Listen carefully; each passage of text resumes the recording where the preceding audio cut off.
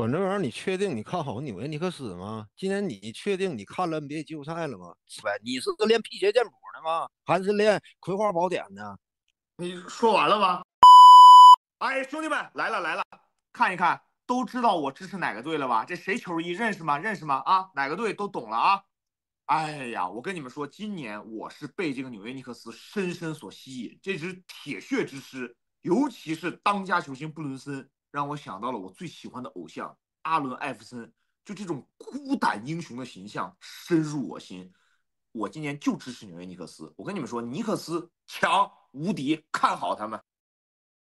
管这玩意儿，你确定你看好纽约尼克斯吗？今年你确定你看了 NBA 季后赛了吗？残成什么样了？这支球队，说实话，但凡懂球的，不用我提，毫无疑问，东部到底谁能干进总决赛？看我的衣服颜色，看我目前这个谁的球衣。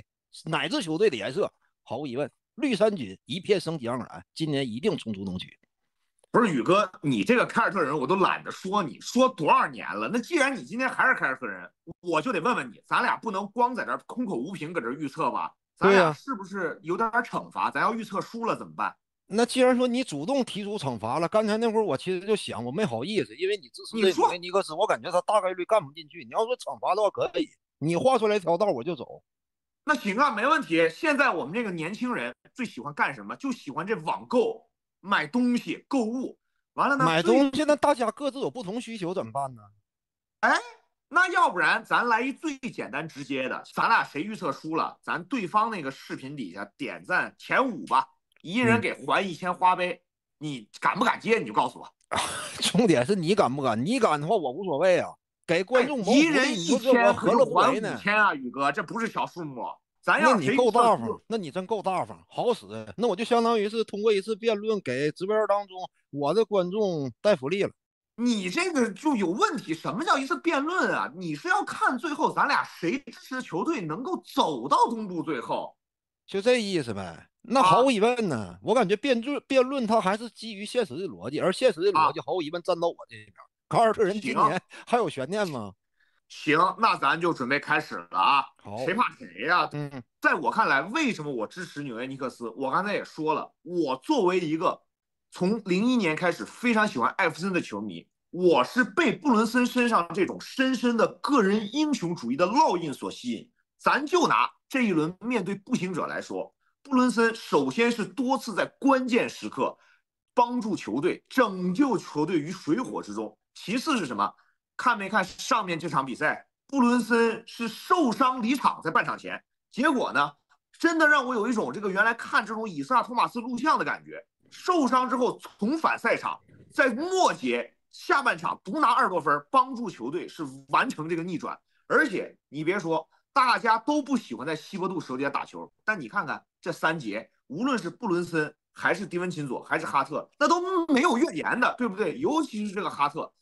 场均现在都给干到四十六分钟了，季后赛打满四十八分钟的场次，现在大家数数有多少场？我个人就认为这种精神力、这种铁血之师、这种凝聚力，我就喜欢他。而且我想说什么，就像你说的，凯尔特人也许纸面上确实星光熠熠，这不你封的吗？大太子塔图姆从入 NBA 以来就被大家所关注。像什么布朗又签了这个历史上大合同，今年又给波神弄过去了。怀特这小白也是尚有一战之力，确实你阵容很豪华。但是我们作为一个普通人看 NBA，这个阵容对我来说真有点遥不可及了。我们每个人都不是像布朗、像塔图姆这种一上来就是大明星，更像这种碌碌无为的普通人。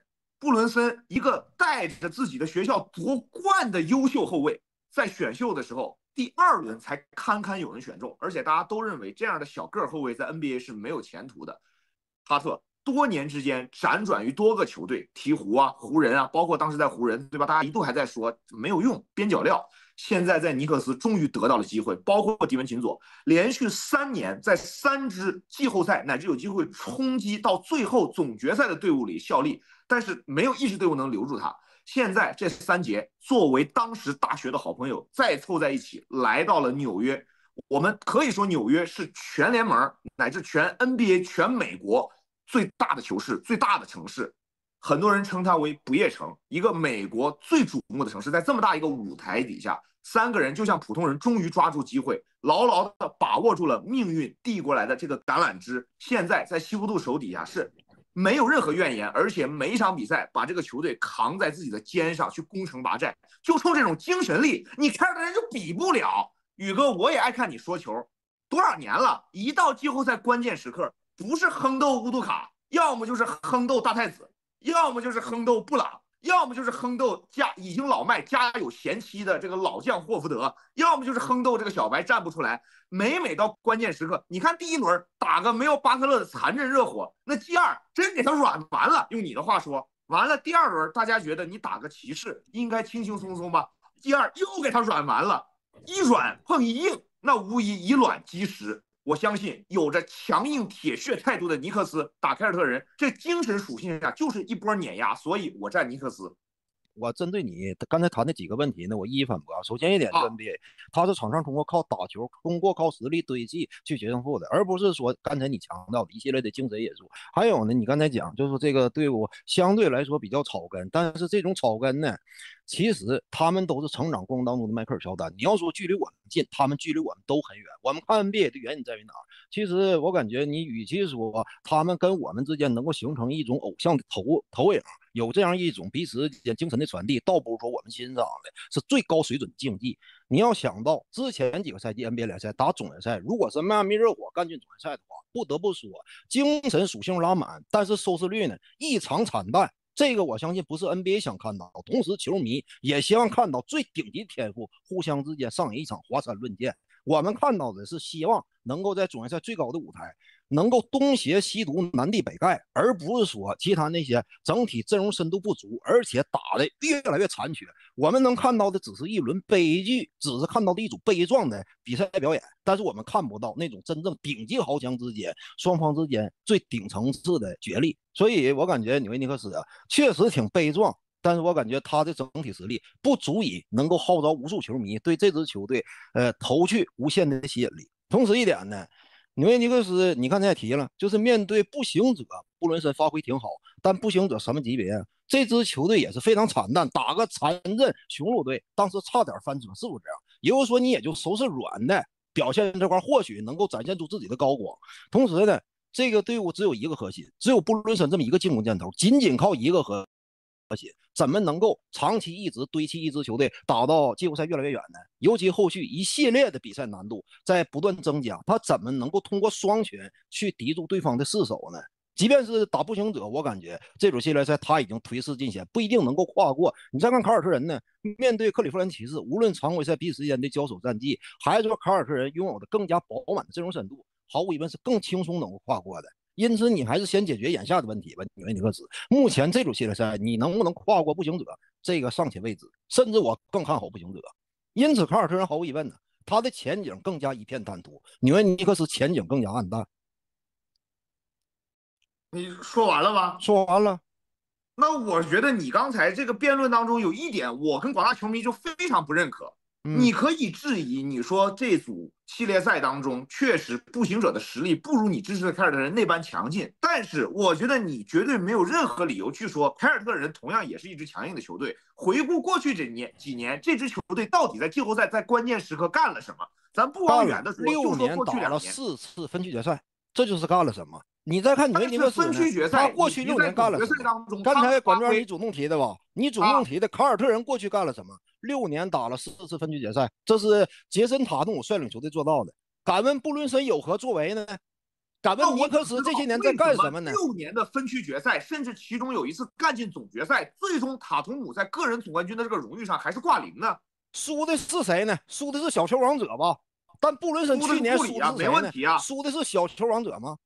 那为什么去年咱就说能够被迈阿密热火在第七场以二十多分的分差直接拿下呢？而且那场比赛最经典的一个镜头，吉米巴特勒执行罚球的时候，塔图姆手捂膝盖，双目涣散，眼中无神。你什么时候见过布伦森或者哈特透露过出这样的表情在对待比赛当中？当时是不是正值巅峰期鼎盛状态的吉米巴特勒面对的是算是初出茅庐、刚过新秀合同期的简塔图姆啊？这是不是成长必须经历的真正的？初出茅庐。首先一点，观众我问你，年轻球员他如果想要成长崛起的话，强如迈克尔乔丹，是不是也得经历季后赛失败的淬炼，你才能够成长进化？迈克尔乔丹是如此，勒布朗詹姆斯是如此，布伦森是不是也该如此？那敢说到迈克尔乔丹，布伦森今年打出的数据，除开历史上这些星光熠熠的名字，你能想到的只有迈克尔乔丹和勒布朗詹姆斯做到过。难道今年就不能是布伦森跨过凯尔特人，甚至说挺进总决赛的一年吗？零一年艾弗森的这个阵容，难道就比现在的凯尔，难道就比现在的尼克斯要强吗？那当时艾弗森不还是孤掌带队来到总决赛，跟当时有着奥尼尔、科比、老于费舍尔所领衔的这个湖人苦战五场，而且第一场还大比分，最后在客场打进这个加时赛，苦战四十多分钟自己上场拿下这个比赛胜利，难道我们就不能看到在布伦森身上重现这样的英雄壮举吗？布伦森有英雄壮举啊，但纽约尼克斯谁能打出当年迪肯贝、穆托姆博低位的统治力呢？有这么一号吗？而且现在米切尔罗必须有伤了，内线只有一个哈尔滕斯泰因。难道你认为哈尔滕他低位的防守能比肩历史盖帽名列前茅的迪肯贝吗？肯定比不了吧。还有一点，在看球这么多年的生涯中，又何止见到过这么多？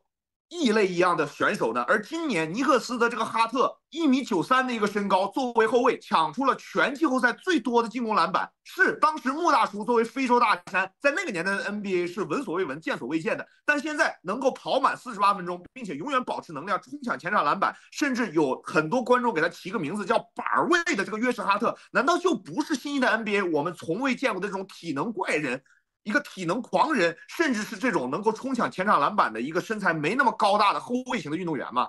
你见过跑马拉松的一周之内跑三四次吗？不可能吧？他肯定是有持有场吧？他不可能保持自己凡胎肉体情况下无限的源源动力吧？因此，我想问你，你最近有没有听过？你最近有没有听过？凯尔特人有人遭到这种过分消耗吗？没有吧？其二就是约瑟哈特，你说他作为一个板位，那么抢篮板是后卫应该大量拼抢的吗？他如果说篮板球在队内排名已经是排到榜首了，是不是也恰恰印证了纽约尼克斯没有内线呢？或者说他内线过于软弱了呢？才让一个后卫在篮板球的争抢成为球队的头牌了呢？这是不是不光不是球队的优势，反而是球队的劣势呢？卡尔特人需要一个后卫一个霍勒迪成为队内的板王吗？不需要吧？宇哥，我知道你一直看不上像猛男威斯特布鲁克这种愿意在进攻当中去疯狂的冲抢前场篮板，甚至是说不惜以自己这个后卫身躯冲进常人林的这种后卫球员。但是我敢跟你说，这支纽约尼克斯，包括你刚才所质疑的像约什哈特这个体能问题，约什哈特自己接受采访说说了什么？我只是我的工作只是上场打球而已。那很多普通人早六点起床工作十二个小时，我觉得我丝毫没有比他们辛苦。你从他的嘴里，而且有很多人调查说这个最不希望在西部杜手底下效力，但是约什哈特自己亲口说的，说的是什么？说我觉得这些球员只是软蛋，对不对？那约什哈特就是有这样的精神力，而且就像你说，确实现在在阵中伤病满营，尼克斯这可能是他们遇到的最大问题。但我想说的是，在布伦森爆发之前，尼克斯被称为什么？尼克斯双子星。还有另一位双子星是谁？兰德尔。那兰德尔受伤之后，反而是更加激发了这种布伦森体内孤胆英雄、单核带队的基因。现在确实，米切尔·罗宾逊，包括欧记阿诺诺比也伤了。但是在这种情况下，难道就不能进一步激发这些有着绝地七武士般悲壮情怀的尼克斯球员，进一步的这种在赛场上爆发出澎湃的运动能力的潜力跟精神力的潜力吗？靠精神力、潜力，靠这玩意儿要是好使的话，那干脆我主动自断其臂就得了呗。你是练辟邪剑谱的吗？还是练葵花宝典呢？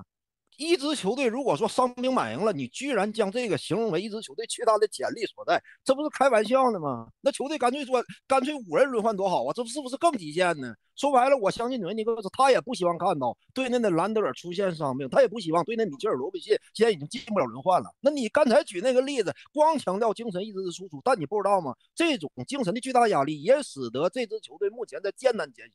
包括你看球球队阵容当中，约瑟哈特，你刚才举出的他场均出场时间如如此之多，我认为从一个主教练，包括一个管理层，用一个球员。大家也看到了投票了，联赛当中没有几个球员真说愿意为西伯杜效力，为什么？因为有可能葬送自己的职业生涯。毫无疑问，你从这支球队长远的舰队呃未来考虑的话，你要是这么用的话，弊端尽显，有可能本赛季报应就在眼前。说实话，这不是危言耸听，因为我们通过事实发现，纽约尼克斯一个接一个都倒下了。这支球队很悲壮，他们这么打去没有太大的前途，因为篮球比赛毕竟拼的是体力，拼的是能量，你后续能量不足了，拿什么跟对方交手啊？一个接一个都倒下了。现在用人捉襟见肘，场场比赛是七人轮换，绝地七武士现在都有点排不齐了，怎么办呢？而且现在咱就说具体的战术内容，现在上来是阿丘瓦，阿丘瓦没有篮，哈尔滕森没有篮，这人锋线高度又那么丰厚，内线还有大个，你怎么打呀？拼深度你拼不过，拼天赋人家都高于你，而且呢，现在你已经精疲力竭，拿什么后续再战呢？没问题，但是我始终相信 NBA 在多年以前有一句改过的 slogan，它的 slogan 叫 Where Amazing Happen，就是奇迹发生的地方。没问题，我觉得今天咱俩这个谁也不服谁。但是刚才我等会儿奇迹发生的地方，你那一说纽约尼克斯他如果赢的话，这是一次奇迹呗？那你不就是在为什么我不能作为什么是奇迹？奇迹就是小概率事件。但刚才你言语当中你也说，你已经说了，纽约尼克斯是奇迹发生的地方。你潜潜台词就是你认为他也弱呗？是不是这样想的？我不认为卡尔特人赢，我只是认为。那你认为纽约尼克斯赢是奇迹？这个奇迹该你刚才是这么讲的吧？发挥了，可以不？啊，我说我只是认为今年这个奇迹该轮到在纽约尼克斯身上应验了。凭啥呢？就大家都有公平的条件，凭啥呢？奇迹为什么发生在你身上，不发生凯尔特人身上？凯尔特人也是零八年之后，咱俩咱俩现在在这辩半天，脸红脖子粗，谁也说服不了谁。那我觉得这样这样这样，最后的最后，咱们还是得用事实说话，对不对，宇哥？好啊，事实说话，那我更不怕了。说实话，凯尔特人现场的表现绝对比我的表述要更加给力。那来吧，刚才。你也应了，我说咱们输的人是有惩罚的，好不好？好，咱就设立一个规则，这两支队伍谁在东部走得更远，咱给这条视频底下彼此点赞前五的粉丝，每个人还一千花呗，你敢不敢接？就是卡尔特人如果赢了，你给我视频下边的粉丝点赞率高的排名前五的还一千粉丝呗，一人一千，一人一千。那你破费，我替粉丝感谢你。我也替粉丝感谢你。反正要是凯尔特人要是折戟了，我这边也是点赞前五的，没问题吧？好，说到做到，宇哥，别玩赖啊！到时候我不可能玩赖，我就在这儿呢。我家地址你都知道。行，兄弟们，看好看好，赶紧把这个花呗你支持的 NBA 球队换上，到时候等着宇哥给咱们还花呗，买自己想要的球衣、球鞋，想要的东西。同样一套话，主人公换成你，我还给你。行，那咱等着看这两支球队的表现，也希望兄弟们关注我们最后谁来把这个赌约给兑现了，好不好？输定了你，关志远。哎呀，等着看球吧，宇哥啊！好啊，凯尔特人必胜，尼克斯加油！